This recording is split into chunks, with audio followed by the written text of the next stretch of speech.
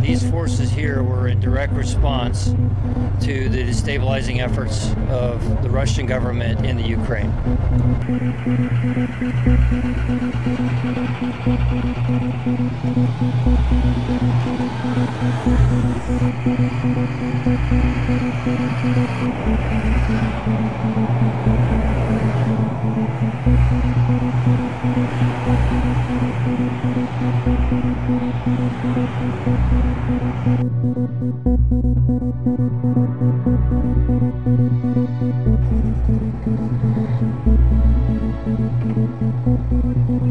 Thank